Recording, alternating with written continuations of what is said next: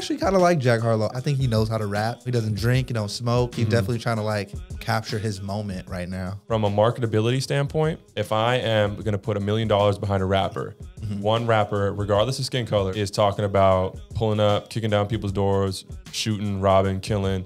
And then the other one is rapping about going to the party. I'm drinking with my buddies.